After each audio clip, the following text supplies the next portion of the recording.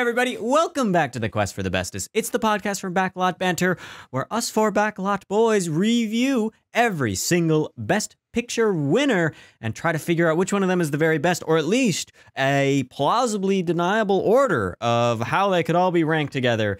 Today, we are talking about Cimarron from 1931. My name is Timo, joined, of course, by Tucker, Tanner, and Abram. And I maybe I could wait to talk about this film. Maybe I couldn't can't wait. I don't really know. I think we should just get into it as quickly as possible because this is like Anyway. a, a befuddling movie. Abram, you got a comment, a singular one from our last episode talking about the Lost Weekend, which oh crap, totally reminds me we got to do the housekeeping. We've got to know where this film went on our list. The Lost Weekend, that is last last week's episode. Now, the Lost Weekend, we had to we had to do some some ties sorting out. It went at place number 53 with an average score of 7.5. So pretty well for a film that came out a long time ago and that pretty much everybody besides from us has forgotten about. So, congratulations The Lost Weekend for doing as well as you did. Now, Mhm. will Cimarron do as well as it could do today? Only time will tell. Only time. Shouldn't every movie do as well as it could? Isn't that the point?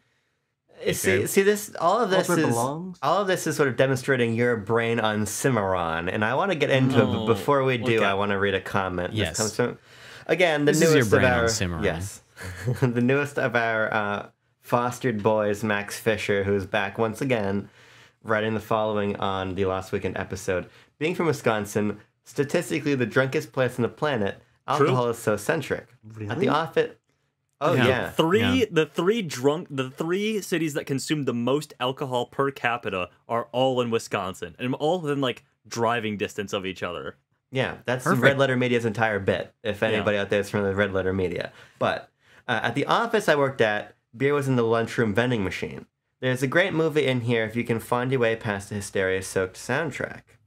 I especially like Jane Wyman's brightness and the director's wit that shines through in the less melodramatic moments. A friend of mine chills her wine by hanging it out the window.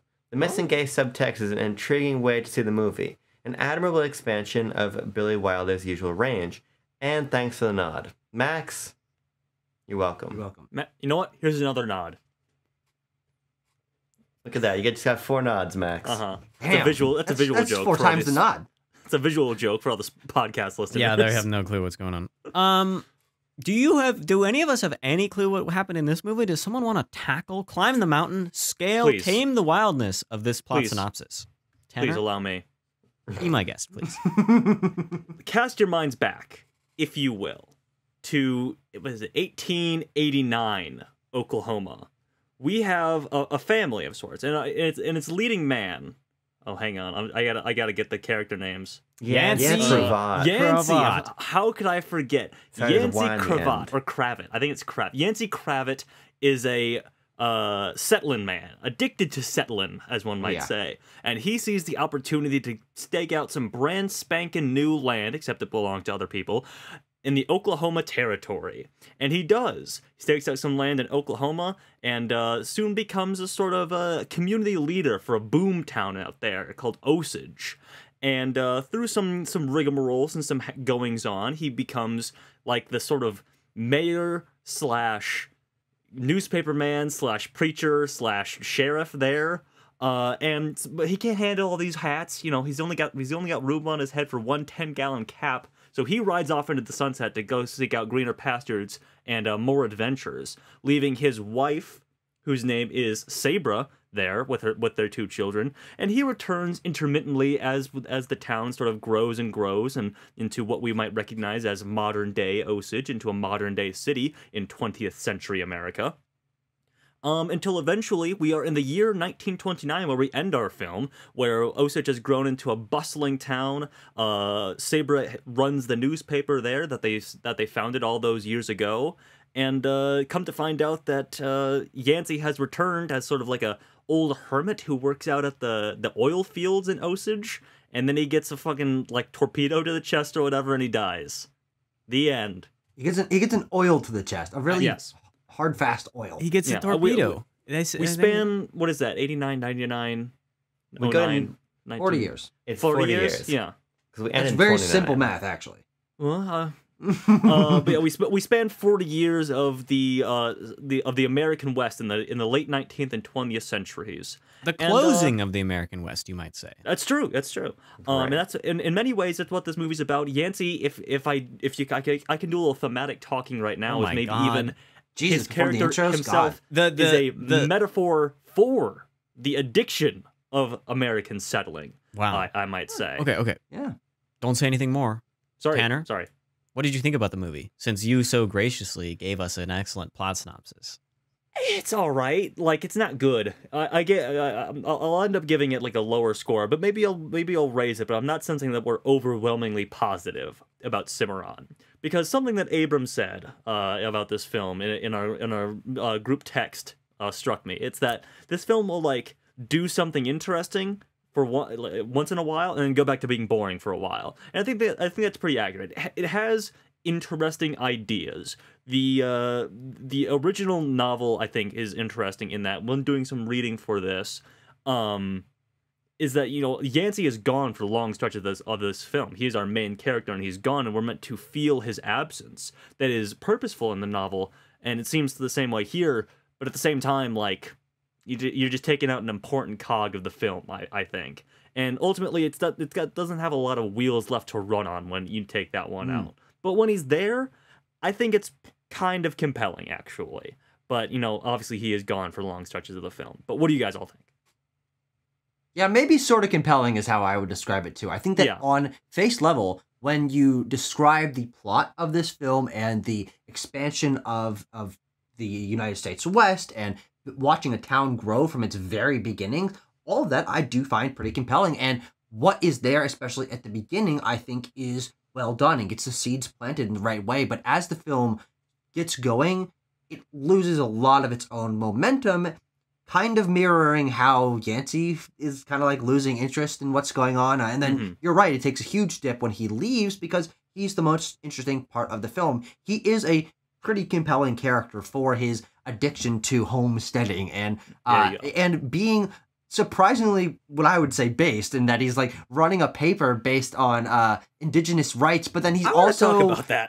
Yeah, we'll talk about that. But he's also Uh-huh. like continuing to take land from the Native Americans. Yeah, It's a whole yeah. thing. But that makes him a pretty interesting character that I want to learn more about. Um, but the movie doesn't spend its last two half or third talking about him at all because he's gone. Um, so it, it it sets up interesting things, but it does absolutely not follow them through. Mm-hmm. Mm-hmm. Abram, do you want to go? Yeah, I mean, I think the movie movie's boring.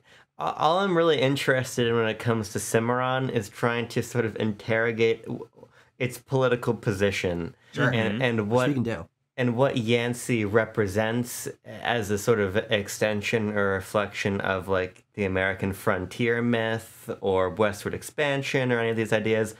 That's all I'm really interested in because otherwise, what is there to even really say? We basically follow a series of vignettes as time passes in like in like the frontier. That's mm-hmm. all that really happens. We, we get a we get a couple shootouts. We got a paper being developed. We get like some familial drama. We get like a Mhm. courtroom drama. It's Yeah. all it's strangely procedural, and it feels like a film that should take. pl- It should. It feels like it should be like Gone with the Wind. It feels like I need to devote my entire afternoon to the movie. But you don't. It's only two hours, and we co- but we cover so much ground that it all becomes sort of just formulaic and uninteresting. Okay, and now here's this plot beat, and now here's this plot beat, and now here's this plot beat. Yeah. And the only real constant until he doesn't be until he isn't one anymore, which is frankly even more interesting, uh, is sort of Yancey and how he progresses further and further into indigenous territory, essentially. Um, and I, I th- the film, sure you can read it as like what happens to these settlers who are dispossessed by like the industrializing of America and like the closing of the frontier. But he still gets a, a statue built to him at the end of the movie. That's true. Right? So all Frank, Memorialized forever in time for all he does. right. Yancey Cravat. So Mhm. basically, all I find interesting through the lens of discussion, not through the lens of an in- of an engaged audience member, is the Uh-huh. situation of Yancey and the film's political position as well. Sure. Mhm.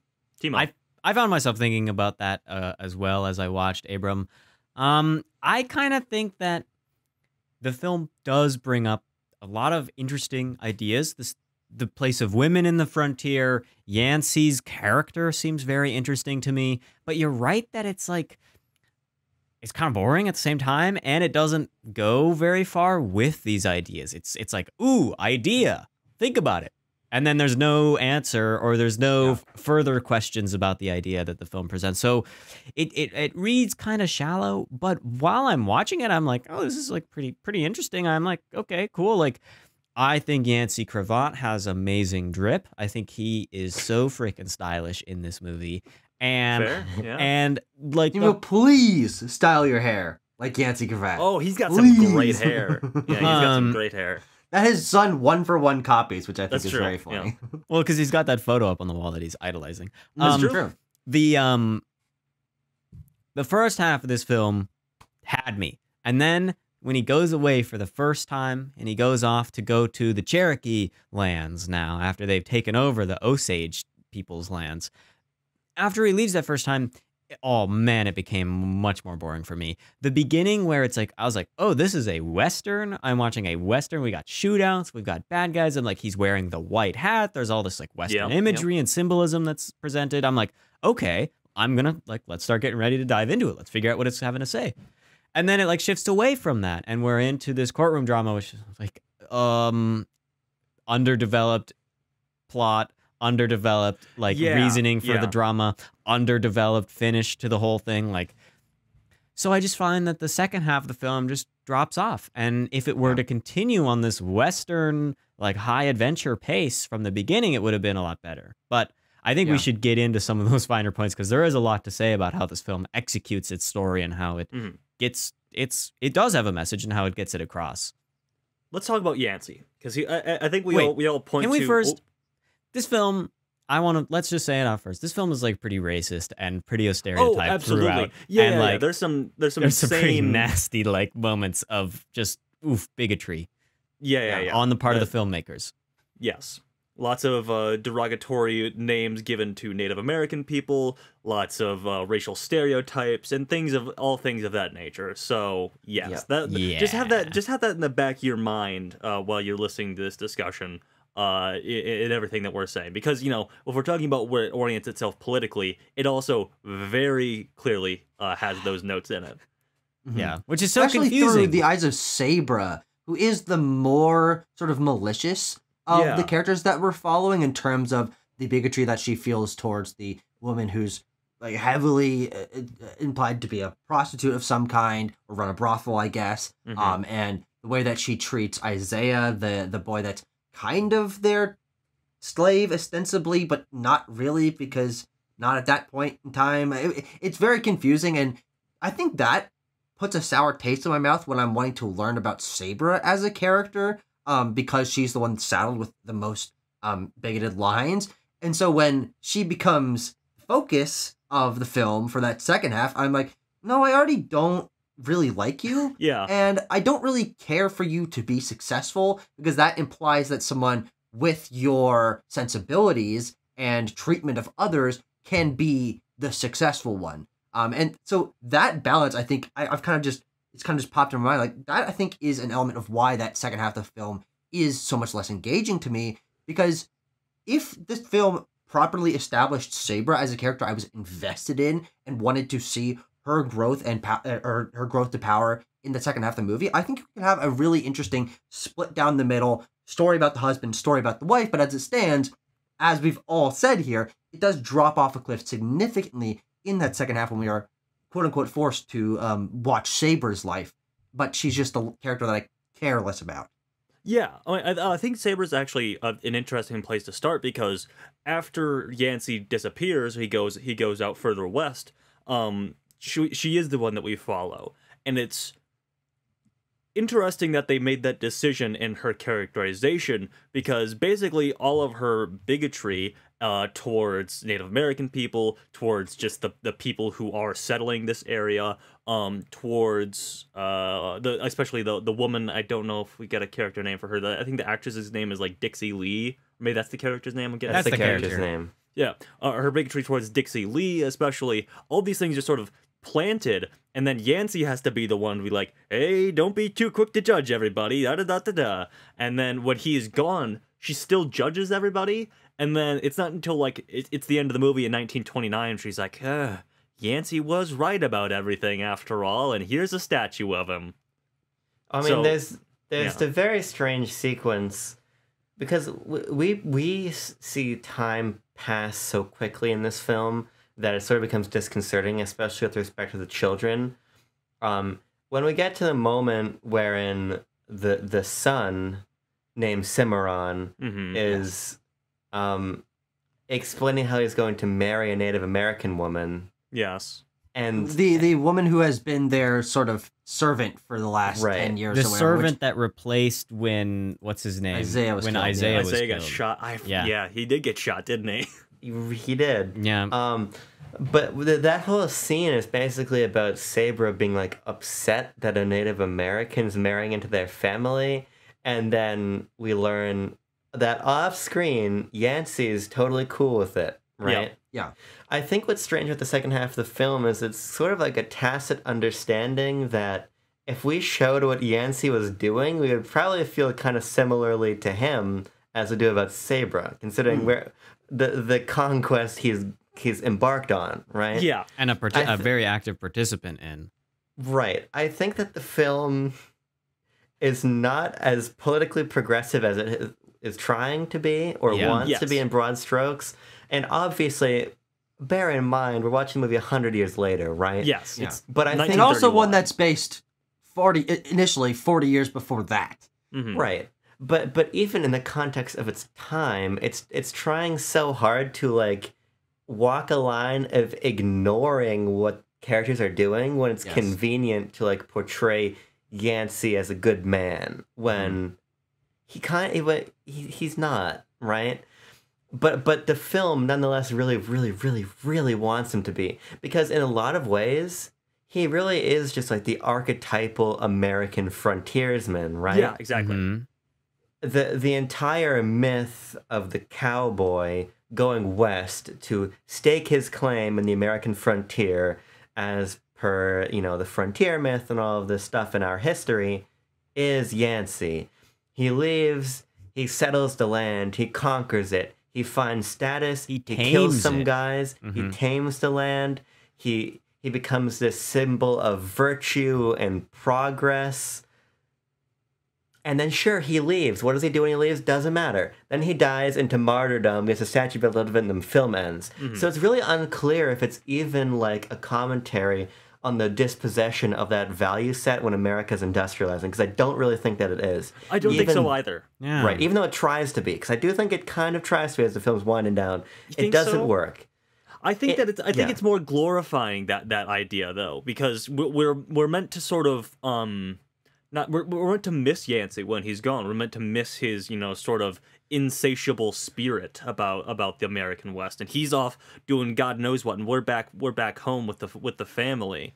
Um, so I think the film is like largely obsessed with that idea, as many westerns are. Of course, this is uh, the first western to win Best Picture, being the fourth Best Picture winner ever. Um, one of only three, by the way. Yeah. Um, Unforgiven, and the, the other two didn't come until Unforgiven and Dances with Wolves in the 1990s. Which are like You could count genre. Nomadland in a way. Yeah. What's that? What? What? Is it- You what could is count that? Nomadland in a way. Those, Oh, but all yeah. three of those examples are like genre deconstruction, Yes. like postmodern it looks at the Western. There is Yeah. no real like John Ford type Western movies that are that won.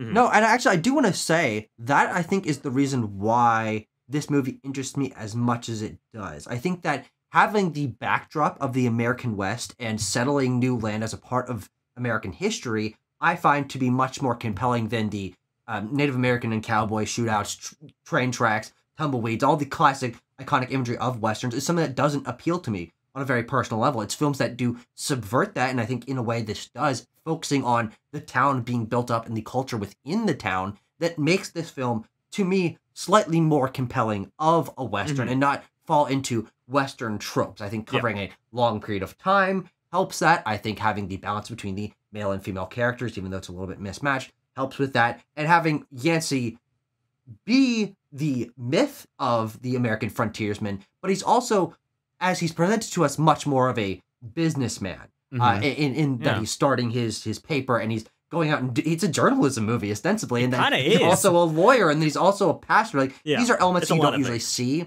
in westerns, and that does on a concept level put it a step above in terms of my interest.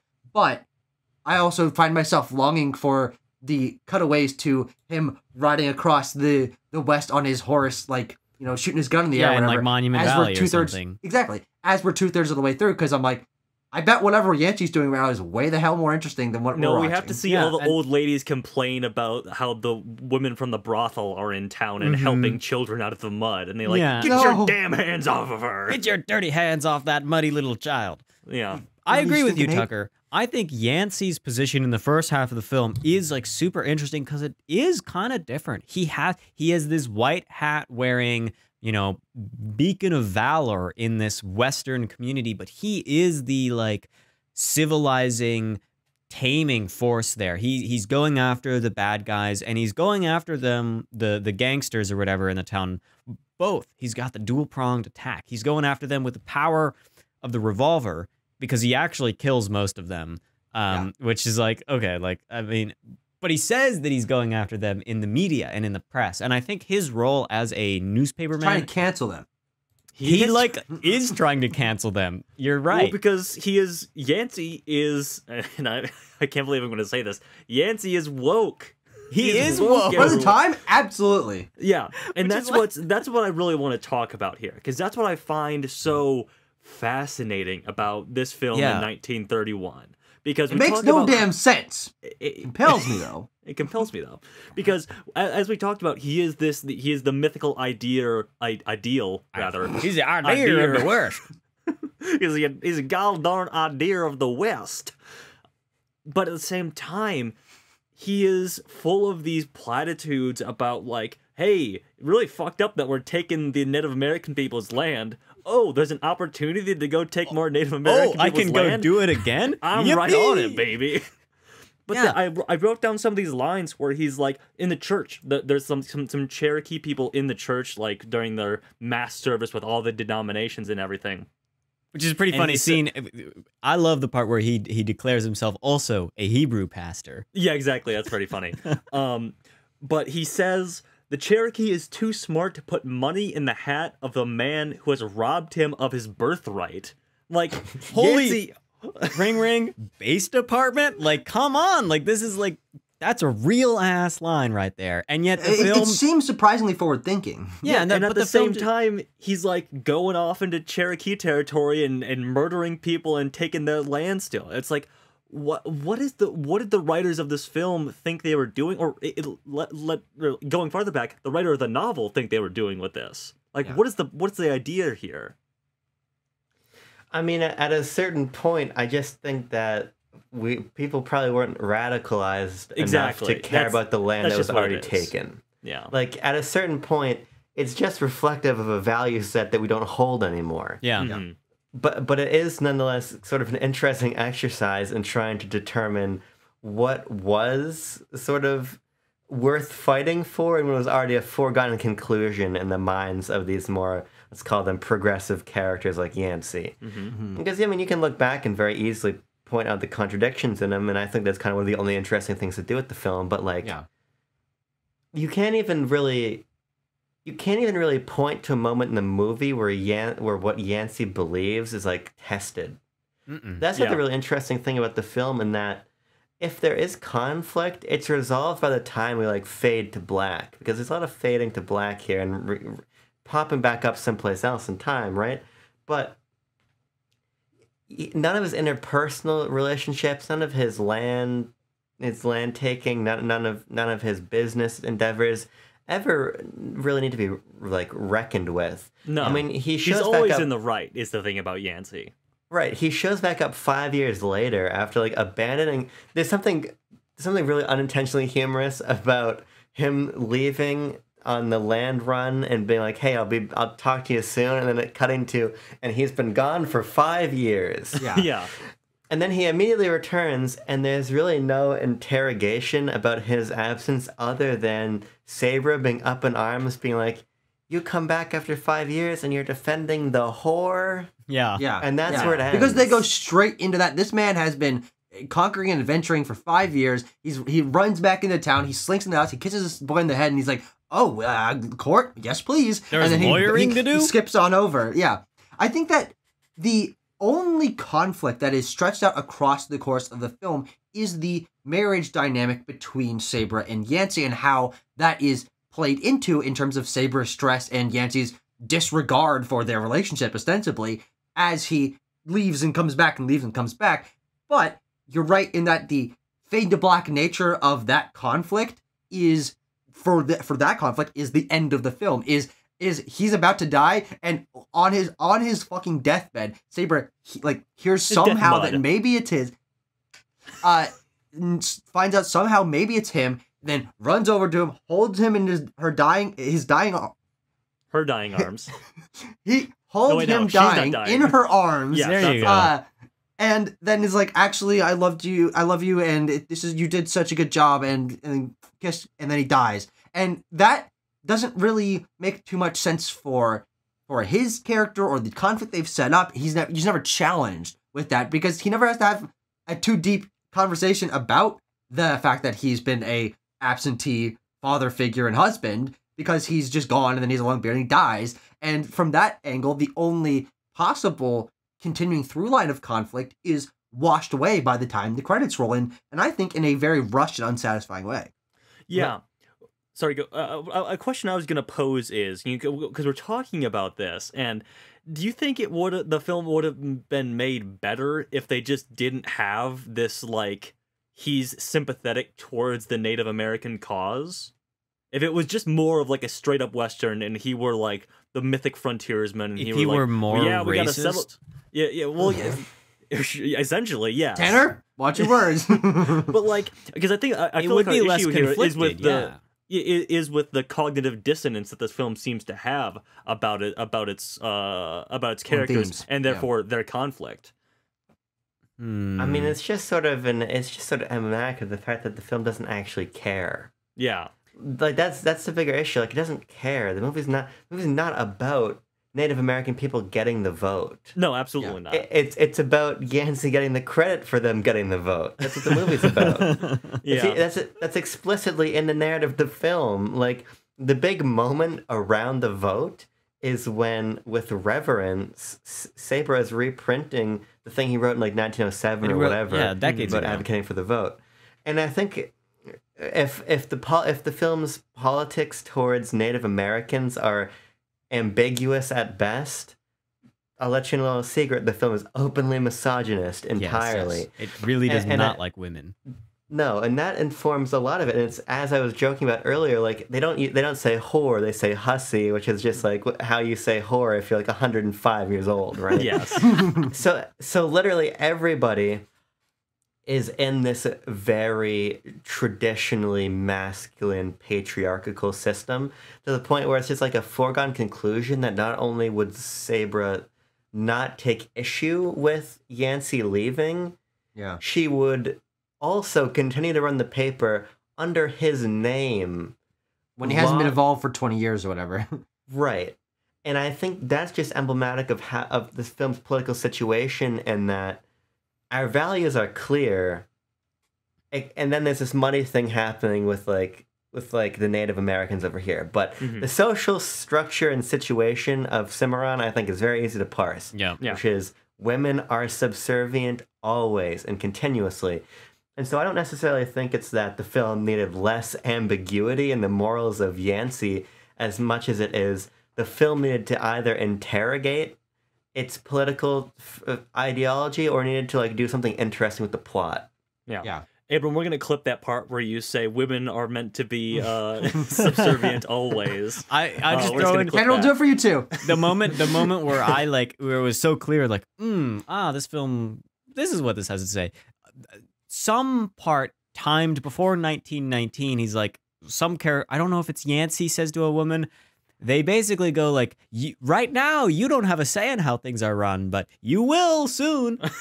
Like, yeah, it, it, it, really it really is toying with that that like, hey, we know this film is for a 1930s audience, and uh, don't you worry, we're gonna hit all the we're gonna hit all the Don't political you- highlights. don't you remember 12 years ago when women were exactly. allowed to vote? Like, Um, what, something I did want to bring up. This is a this is a weird thing, but it ties into an anachronism in the film. Actually, it got it wrong, which is crazy because, as Timo just mentioned, it's only like 20 years removed from this thing actually happening. Um, is okay. So for, you remember when first of all when there's just that weird thing where Teddy Roosevelt's face just like kind of goes towards the screen for a bit and then that, fades that part away. was so weird. I loved it. I loved it. I was Yeah. like, what the? Because I mentioned Teddy Roosevelt, and they're like, in case you forgot, here's a picture of Teddy Roosevelt, and then Yeah. you're like, oh, that guy. Perhaps they anyway. thought he wouldn't have been as famous as he ended up being back, you know, closer to his presidency. Still. Any who's will it's be. certainly possible actually. um during that during that period set in 1907 uh, when he is running for the governor of oklahoma he is said to be running uh, under the progressive party he is a pro- Mhm. he's the progressive party candidate the progressive party didn't start until 1912 uh, under theodore roosevelt after he uh, unsuccessfully ran for a third term so yeah they got they got that wrong Well, it helps Hmm. in the script to make it really clear who he who Yancey is supposed to be. Yeah, yes it, it, it's it's beneficial towards the already confused themes of this film.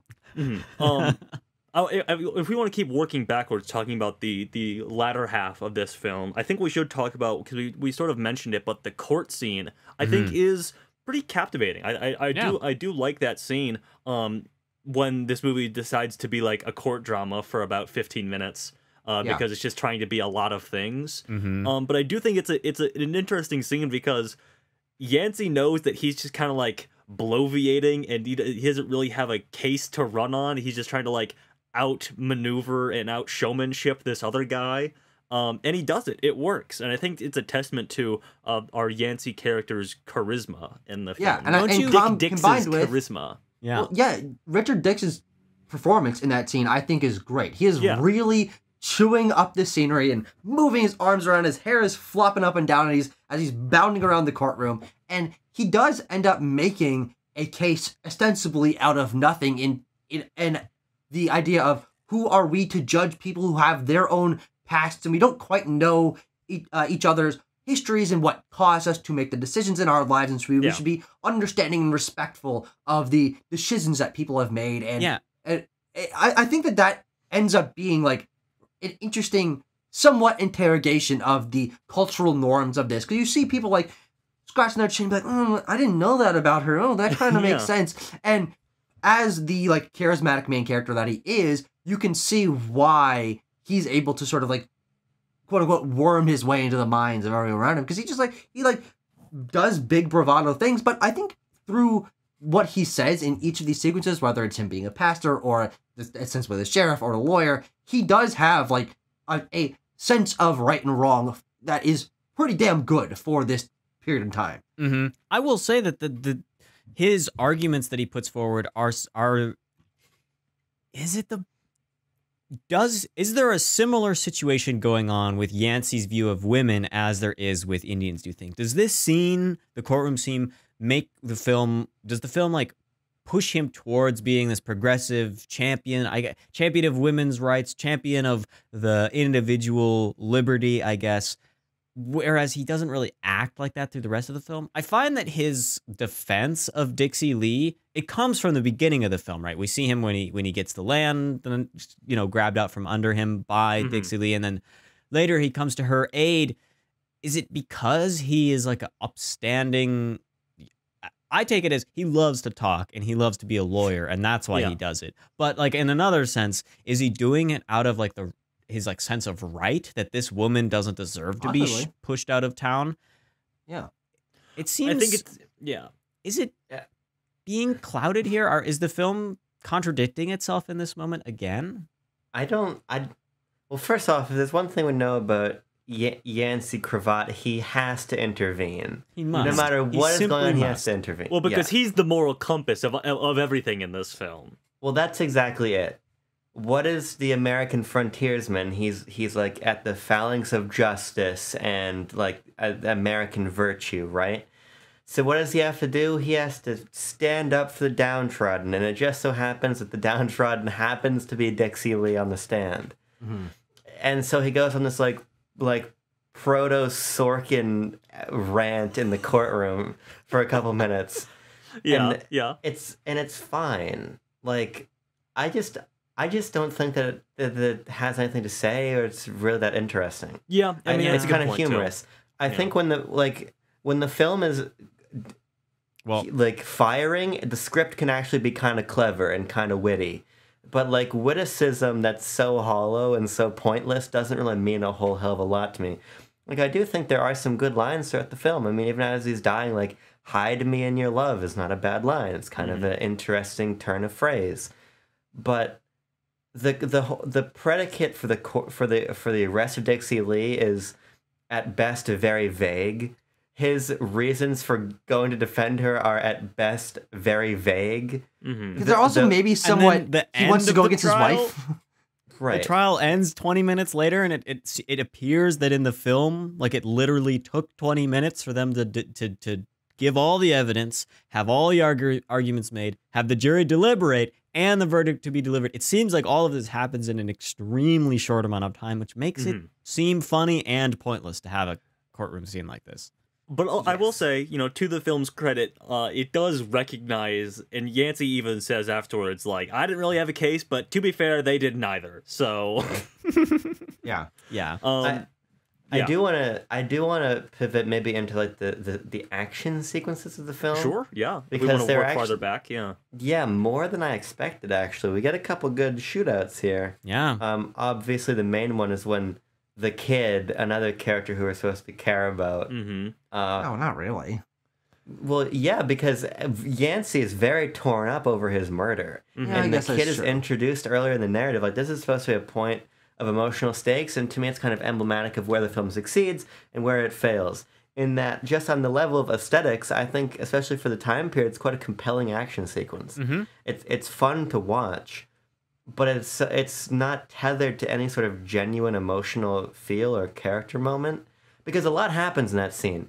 Isaiah is killed this person that Yancey apparently has like a, a kinship with is killed. His town is brought under siege. He has to like reconcile with his place on the frontier. His mortality. It, he gets shot. Too. Yeah. Mhm. It's also like blase. It's just a sequence of information being delivered. Even like Isaiah's body is delivered in and like the scene fades Yeah, we and we not fade 30 to seconds black. later. Yeah.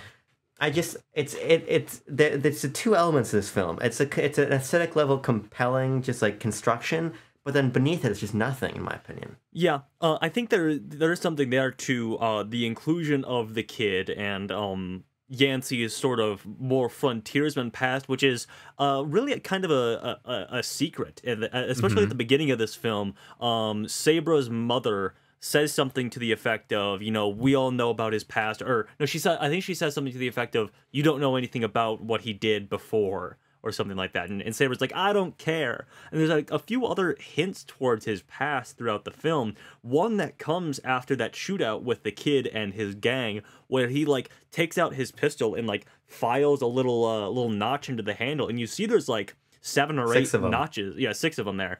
Um, and you're like, okay, so he's killed people in the past. He has this sort of like addiction towards going out into the into the wild west and you know being a rootin' tootin' cowboy. This myth of the American frontiersman. Um, but you know that's never really interrogated uh, th- throughout the rest of the film. There is no moment where he has to where he comes clean or anything like that. And, you know, I could maybe give it credit for having some subtleism in that regard, but I think I kind of more leave it up to we have two hours here and forty years to cover. Yeah. Mm-hmm. That is the weird thing about him dipping at the second part of the film because that is exactly the moment where you'd want him to be interrogating these things to learn a little more about his past, to have that impact the relationships that he has. And even if he is leaving at that point in time, that's another good opportunity for us to follow him on one of these adventures to see what he's like when he's really in his element out in the West, which we only see a, a- a couple like 90 seconds of at the very beginning.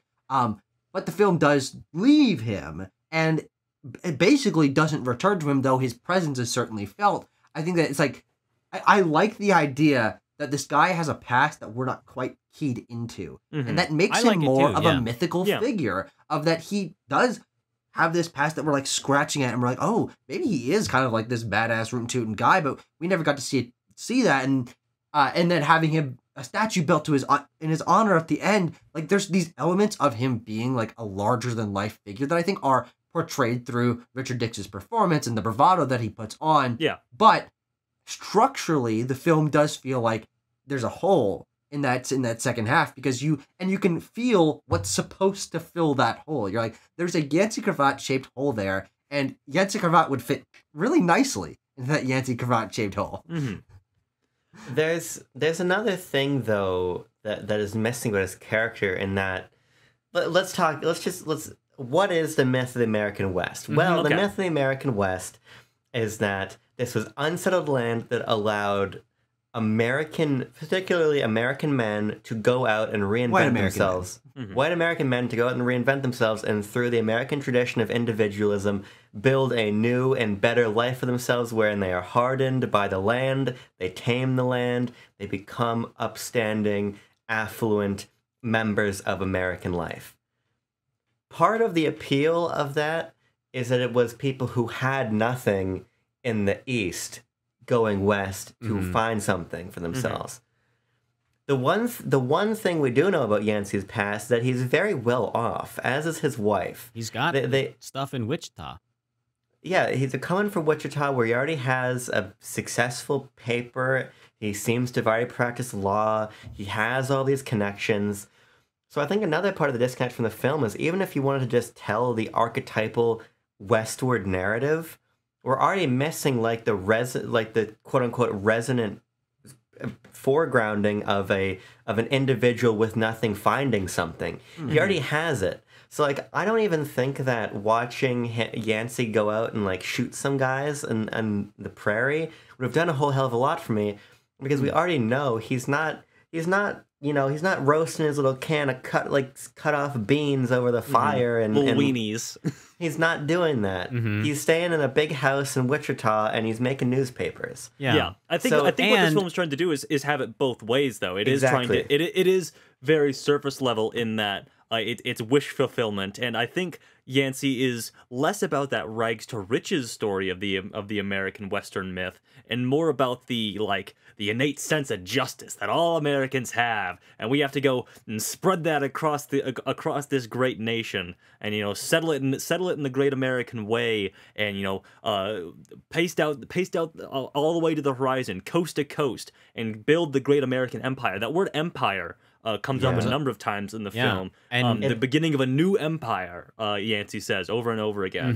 hmm It almost makes Yancey a more nefarious character in that his motivation seems to be that there's just like an American disposition towards colonializing land. It's He- exactly what it is. No, it's like yeah, this, um, that- this idea that it's that is the American way to just go out and have that sense of adventure and, settle take what and- is and take. yours. Exactly. But Right. yeah, uh, even though he, yeah, even though he seems to be friendly towards the Indians, I think that the the narrative that the film actually concerns itself which with, which is the modernization and development of a town from its western beginnings, from its boomtown start, Boomer Town. Boomer which I got a Town. They say that. all the way to Tanner and I pogged at each other. Yeah.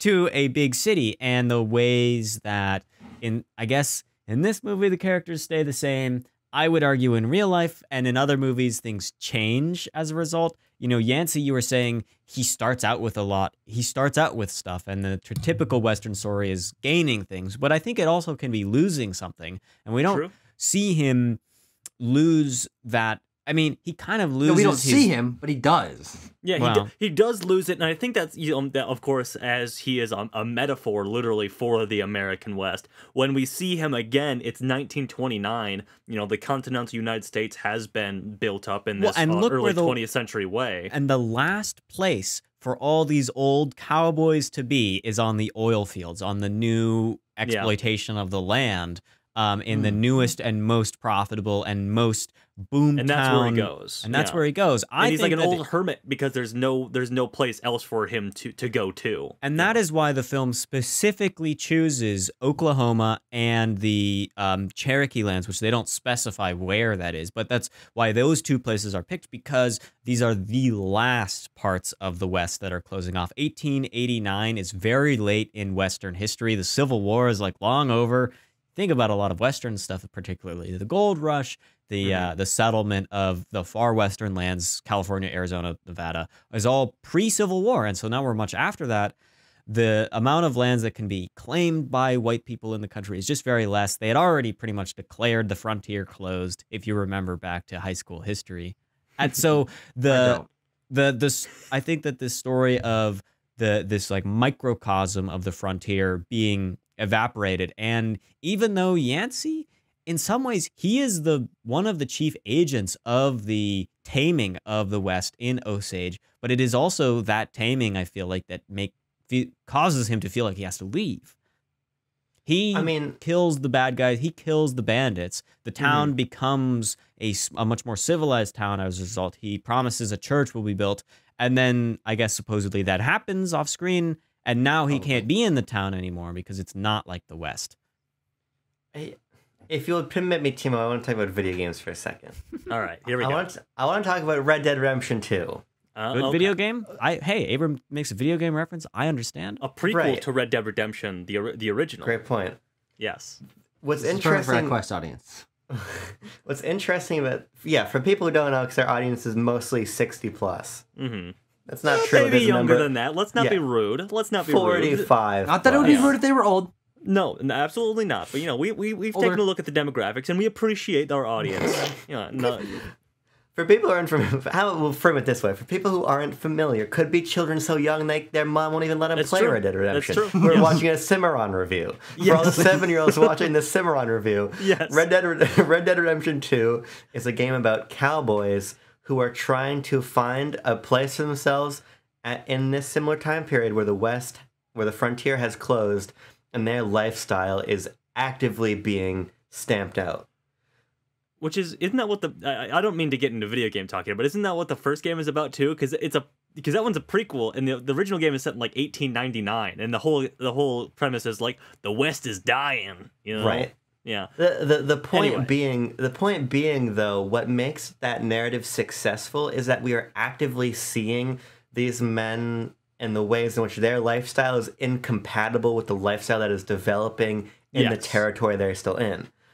So while I think that the film is about Yancey becoming a drifter, and while I think that it is also about the ways in which this town's culture grows and changes over the narrative, neither of those are really considered focal points of what happens. Mm. And that's what I find quite interesting because we don't even we don't even get any time to learn what cowboys in the coal in the in the oil fields look like really. We arrive just for the point of action of Yancey's death. We see that we see the town become this metropolis but it's it's as it's like between the time that the camera fades to black and comes back in. Mm-hmm, All of yeah. this stuff about cultural change is backgrounded. We don't have to see the characters actually like wrestle with it ever.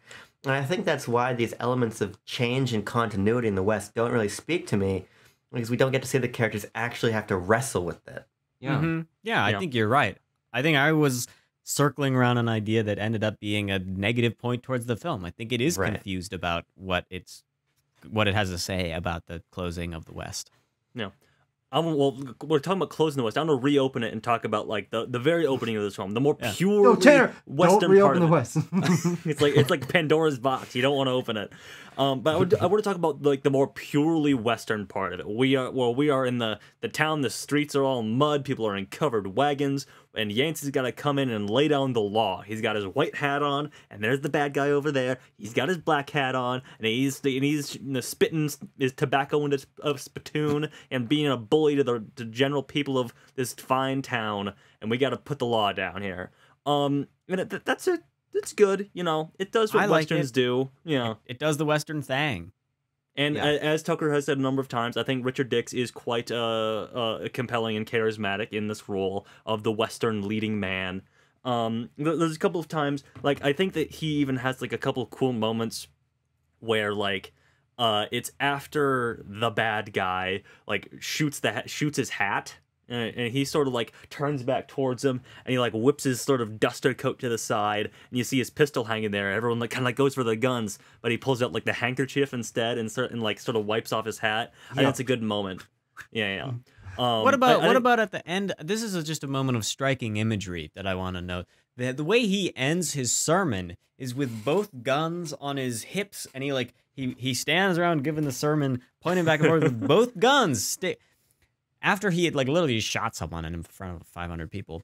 yeah This film, as Abram said at the beginning in through text message, which Tanner relayed to us here, hmm it has these moments of striking imagery and interesting action in between the middle these large moments of boredom. I think cinematog- cinematographically there are a number of cool shots, well done, well composed, impressive frames that show up here and there like that bit at the end with the guns sticking out, like the shot the sequence with where he gets his hat blown off. I think that's a good effect where hmm it's very believable to me Yeah, that he loses it and got shot through.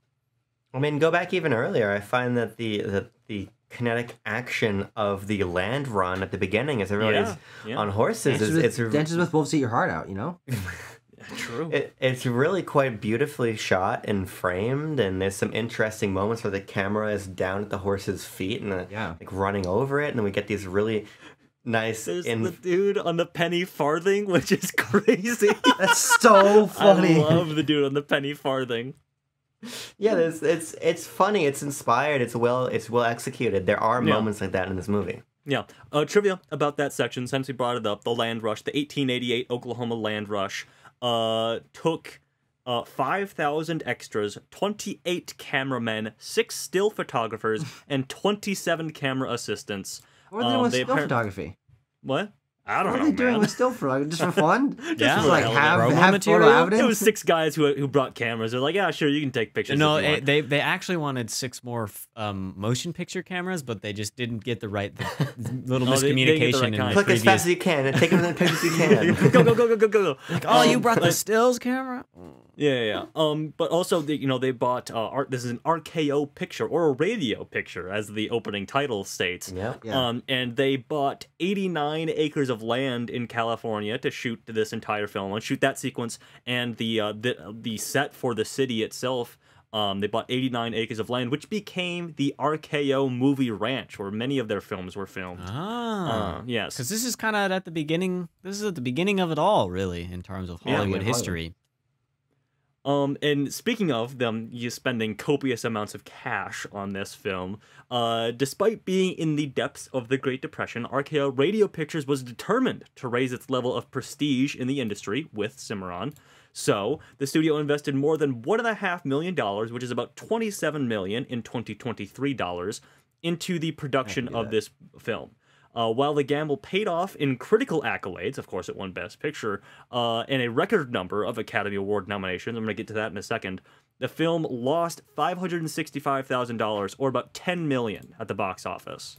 Uh, So- I- even in adjusted money, ten. That's only half of 65's budget. That's not very impressive to me. That's a good point.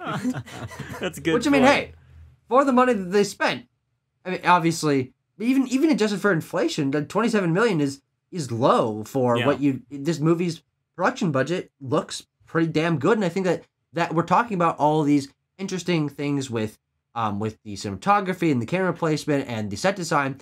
That I think is why I find it tough to critique this movie too thoroughly Yeah. because as one of the first sound westerns, one of the Mhm. very early on in the history of sound, that I, I think can't be understated how Yeah, yeah, technically impressive this film very, is. Is very much. you're so used to those. Well, you're, but if you watch films from the earliest era of sound film, you can be very used to it being incredibly static. They're in enclosed spaces, not, not too much echo, not too much background noise. Yeah. But none of that is Although, true th- I with this movie. They really do. They just explode what's possible, which I think was really impressive. this is this movie came out the same year that Fritz Lang night Fritz Lang's film M did. So oh movie. yes. and we talk about the the previous Best Picture winner, All Quiet on the Western Front, working really well. So I agree with you, Tucker. By and large, they get real static around this time in history, but we do have a number of shining and True, of course. shimmering. I guess I don't know how do you how do you make shining into Shimmer a sound. Shimmer on examples, yes. Um, Tanner, what, what, what you else got do your I have here? you got the nominations. I feel like we should just hit the nominations, give this thing a score, and then uh I feel similarly. Be in our Close the episode. way. Close Hi the west. rickety, West. I do. Hi rickety, do I have the wins and noms? Didn't say that enough here. Hi, Rickety. Hi rickety.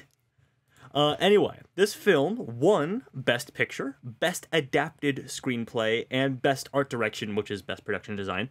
It was nominated for Best Lead Actor for Richard Dix, Best Lead Actress for Irene Dunne, and Best Director Wesley Ruggles, as well as Best Cinematography. And because this is the fourth uh, Academy Awards, cinematography. it- it's yes, very good, Timo. Um, as we, as this was the fourth Academy Awards, it got a number of uh, superlatives from for these nominations and wins. Bring those back. Yeah, exactly. Well, yes.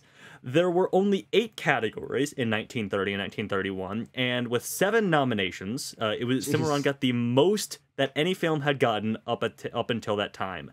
Uh, it so uh, it's aside from um original screenplay, which is it wasn't nominated for, or like it couldn't be nominated for. It got every nomination it could. Um, it also was the first movie that stood a chance of sweeping all five major categories. Uh, a film that would be a, a feat that would be repeated only a couple years later with anyone, anyone. It a couple years one night. later, it happened one night. Very good, Tucker. Mm. Yes. So know my shit. first, first film nommed in the best or the big five. Uh, first film to be, you know, or the only film really to be able to be winning all of the categories. Wow. Cool. Yeah. Wow. I don't know. I, in some ways, thank God the Academy has improved and modernized. Agreed. Agreed. I don't know if I have anything else here. Um, da, da, da, da, da. I Didn't like we the have lines? scream. Didn't, didn't you have some lines that you wrote, that wrote down, or did you read them all already? Um, let's see. I, I I like the yell that he does when he's talking to that guy. You guys remember the yell? Yeah, I remember He goes- that part. He's like, oh, how does that scene go? That scene was so funny. Oh my god. because the guy, the bad guy, says something to him, and he's like, "Thanks for the sentiment. Now here's mine." Yeah. Just screams into the air. That's it's like good. it's like lol random humor from yeah. fully a hundred years before that was actually funny. It- It's Mhm, to which then a tertiary character explains that it's like some Native American like w- chant meaning it's gonna be you or me, and it's just a I just- very there's a lot of unintentional comedy in this film. I would much think. rather that was not explained and just left to him Right. being like, "This is my sentiment." Ow, ow, ow. Um, there's also another line I wrote down, which is another Yancey being like, "Oh, these stupid bigoted yokels from from Oklahoma." He says they have one chamber one chamber mines and mighty small caliber. That's yeah. a really good line. Best best adapted screenplay, and not for no reason here, folks. Some killer lines here. well, shall we mm, give this one a score? Yeah. Hi, Rickety. I say we do it. Hi, Rickety. Hi, Rickety. Hi, Rickety. Okay, I got mine ready. When he says hi, Rickety, you know you ain't gonna see him again. Boop, boop, boop. Okay, I got mine in. Let's do it. All right, three, two, one. Reveal. Okay, we have no tie tonight. Uh, no deliberation needed. The film got a 4.7, so that's going to put it at the 79th, no, the 80th spot on the list. 4.7, pretty low, so there's only about uh 10 films below it. The point breakdown starting from the bottom, I gave it a 3.6, followed by Tanner's 4.7. Abram gave it a 4.8, and then Tucker gave it a 5.7. So oh, one of us got over half. There you go. There Yeah. you go, folks. This I wish film, I'd given it a lower score because it unfortunately unseats from here to eternity at the 80th spot. Mhm. this film is like too is it's too racist for to give a good score in my mind. Like I just can't get it's like too racist, guys. It Yeah, come yeah, on. yeah. That's fair. Yeah. Well, Isaiah start uh, come on he he have you ever seen anything like where he had they have the little platform that is hanging above the dining room table for which So he just weird. sits purpose there is that he just waves a fan for the white people. and Come this is how weird. he is introduced. That's true. It's true. And then he falls into like a plate of flour or something like that. M- Mayo. Yeah. I don't think it's mayo. I don't know if they had that back then. Mm-mm. So Any closing thoughts on Cimarron? They're just eating spoonfuls of flour and going. It's a good closing thought, Abram. Thank you. I didn't. You know what? I thought I was gonna genuinely just hate this movie, but I found there to be interesting stuff to think No, about yeah, while I viewed like- it, and the the racism. It it can dissolve away if you choose to let yourself not pay attention to it. Horrible bigotry aside, and that's a big thing to wave aside. it's not like the worst thing I've ever seen. Thank God it's only two hours. That's Yeah. true. It- this very easily could have been like two and a half, three hours.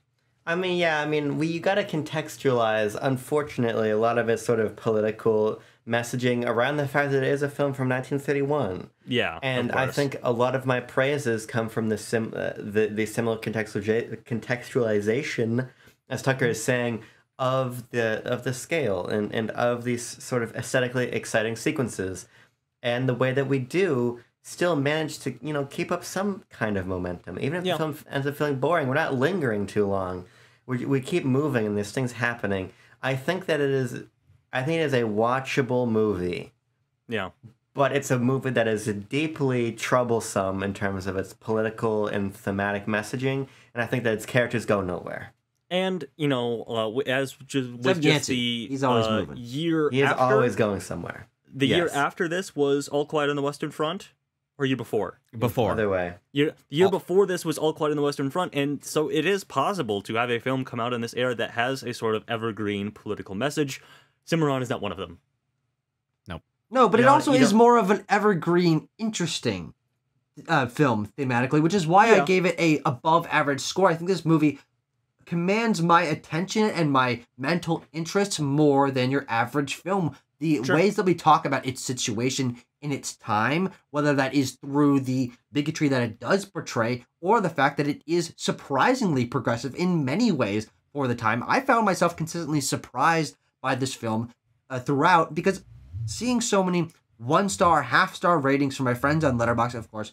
That's Letterbox. You have to contextualize it around that. But even even uh, externally, this film has low scores across the board. And not saying I completely disagree with that, but I think that I was expecting this to be super run of the mill. And from that regard, I would say it's not. I was surprised by the positions this film took, the um, way that it subverted the Western genre by focusing on the growth and the uh, um the time scale of a city growing from nothing. And Yancey, I found to be a surprisingly compelling main character with a, a really compelling lead, uh, leading the whole film. And there's just so many ideas going through this film that I res- I respect it for trying so many Yeah. things. 'Cause it's so It easy to make a western that does nothing. And I think Yeah. this film does a lot of things. It doesn't work in those things, but I like that it's consistently swinging. I No. it's it's like if you saw a baseball player and he was just swinging his bat over and over and over again.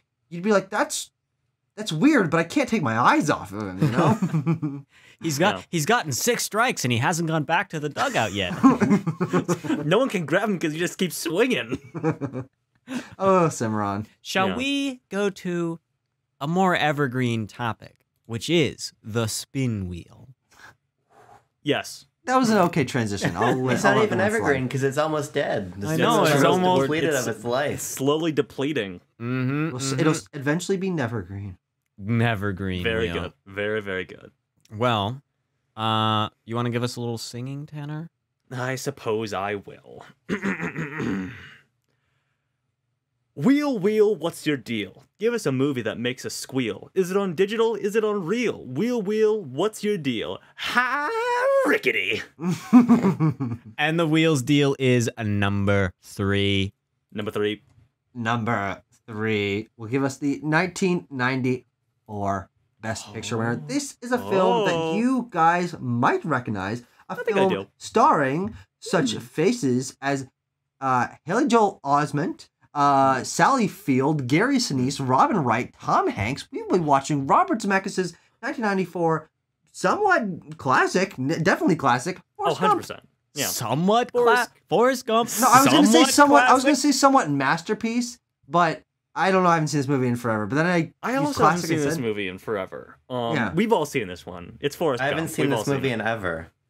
I haven't Oh, seen this movie all the way through. have you not seen Forrest Gump? I've never seen it. I have not sat my, my my rear down to watch the whole thing front to back. No, I've been excited to watch this one because, as Tucker mentioned, this is a classic film. This is one of the all timers here. Mhm. Um, oft parodied, oft cited, oft acknowledged, uh, oft seen by lots and lots of people, oft showed in uh, uh, high school history courses because it's, again, one that spans decades and decades, uh, specifically the tumultuous 1960s.